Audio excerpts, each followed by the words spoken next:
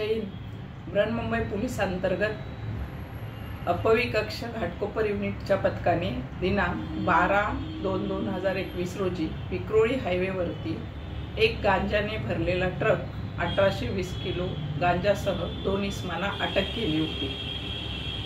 सदर गुन्ह्यात सहा आरोपी व- पाहिजे होते.